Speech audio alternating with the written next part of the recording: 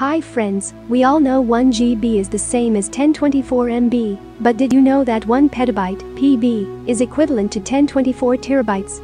Means TB? To give an example of how big this is, a 1 PB hard drive could hold 13.3 years of HD TV video. A 50 PB hard drive could hold the entire written works of mankind from the beginning of recorded history in all languages. If you like this information please like and share the post. Thank you.